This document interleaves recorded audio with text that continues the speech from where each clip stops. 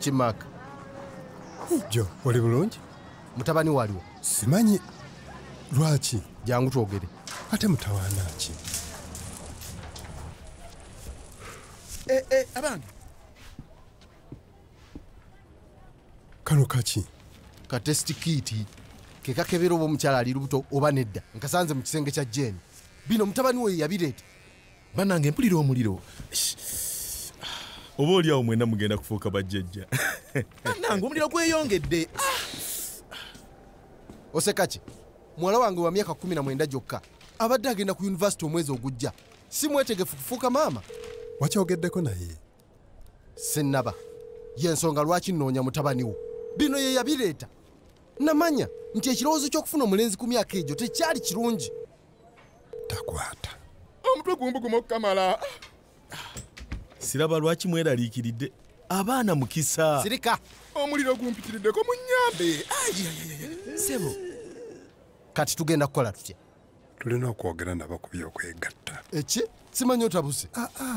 Kisingako okubiwulirirako ffe ne batebeyigira ku mutimbagano oba ku mikwano gyabwe. Napaana nedda nedda. Sebo!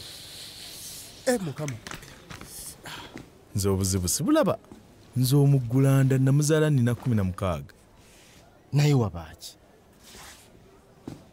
gwe tolina buvunanyizibwa wa- muleke. Ŋambye naye ono yabaaki ŋambye eki neggwe naawe. wegendereze jen taata kano kaki? Ka jena ali lubuto. Nedda wetubadde tumanyi naye yensonga lwaki tuguze akakebera tukizudde tewali buzibu.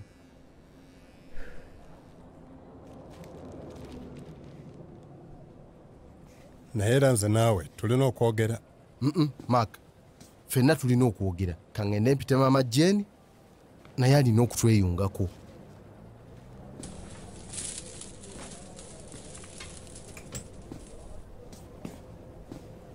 Abange ndi ntya